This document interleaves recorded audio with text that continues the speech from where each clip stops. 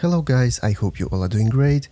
In this tutorial video, I will show you how to format, partition and password protect your external drive in macOS.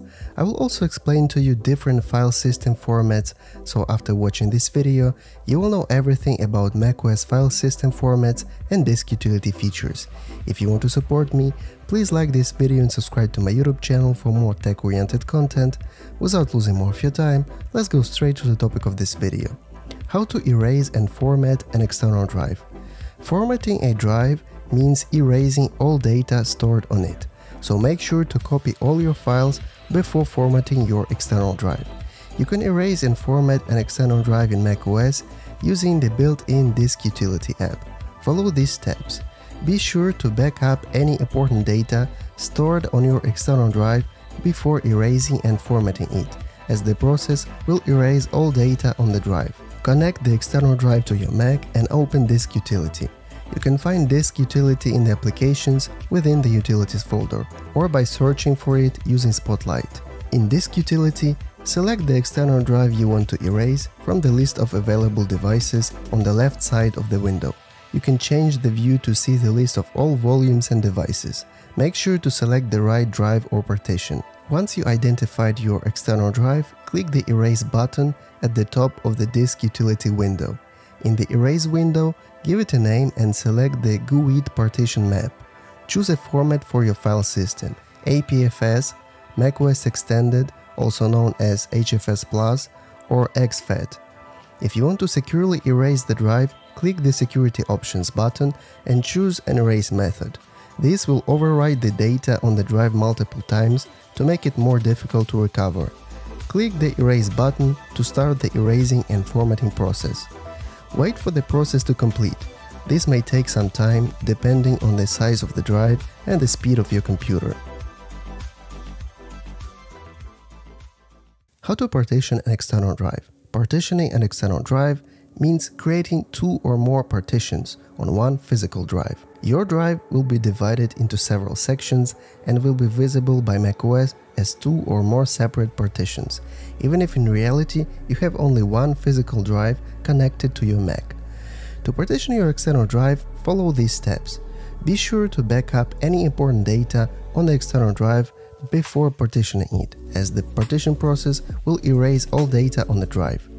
Connect the external drive to your Mac and open Disk Utility. In Disk Utility, select the external drive you want to partition from the list of available devices. You can change the view to see the list of all your volumes and devices.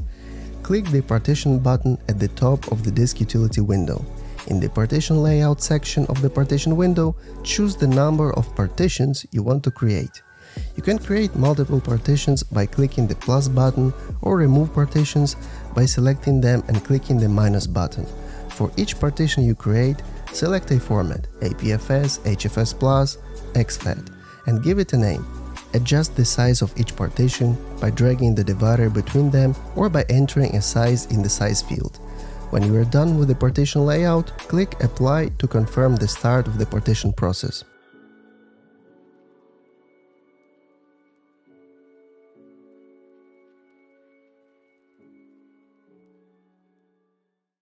How to encrypt an external drive with a password. Encryption means setting a password to access your drive. This is a really important action to do if you have some sensitive data on your external drive as you may lose it or unauthorized people can access your files without your permission. Make sure to save your files before making the encryption because this process will totally erase your files. You can encrypt an external drive with a password in macOS using the built-in Disk Utility app. Connect the external drive to your Mac and open Disk Utility. In Disk Utility, select the external drive you want to encrypt from the list of available drives on the left side of the window. Click the Erase button at the top of the Disk Utility window. In the Erase window, choose a format for the drive, APFS encrypted, and give it a name. Enter a strong password for the encryption drive. Make sure to remember this password or store it in a secure place, because once the drive will be encrypted, you will not be able to access files without a password. Click the Erase button to start the encryption process. Once the process is complete, your data is securely protected. Now, every time your external drive will be connected to your computer, it will ask for a password. If you don't want to enter the password all the time, you can save it in your Mac keychain. As you have seen, there are three disk formats, file systems, available in a disk utility on Mac, APFS, macOS Journaled, and exFAT. A file system is a way of organizing and storing files and data on a computer or storage device. It defines how data is stored and retrieved on a storage medium, such as hard drive or flash drive. APFS Apple File System This is the default file system for macOS High Sierra and later. It's designed to optimize performance and data security for modern storage devices like solid-state drives, SSDs, and flash storages. APFS supports features like encryption, snapshots, and space sharing, which allows multiple volumes to share the same physical space on a drive. I recommend using this format by default for macOS.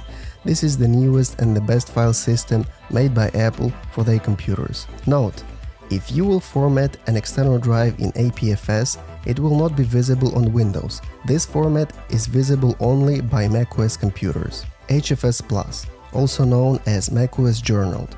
This is the oldest file system used by macOS before High Sierra. It's still supported in macOS, but APFS is now the preferred format. macOS Journaled, or HFS Plus, is optimized for hard disk drives HDDs, and supports features like file compression, journaling, and encryption. As I said earlier for APFS, if you will format an external drive in macOS Journal, HFS Plus, it also will be visible only on macOS, so you will not be able to access your files on Windows.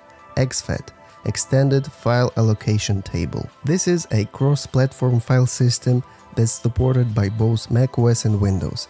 It's designed to work with large files and volumes and supports features like file compression and encryption.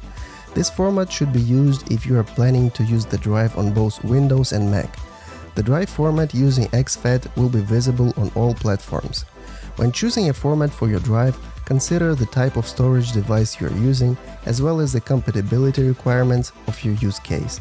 For example, if you need to share files between macOS and Windows, exFAT is the only option for you. APFS offers better performance on Apple computers, macOS Journal is better suitable for all style spinning hard drives. By default, you should always choose the APFS format. Now you know everything about formatting, partitioning, or data encryption on macOS. If you have any questions, please comment below, I will try to help you.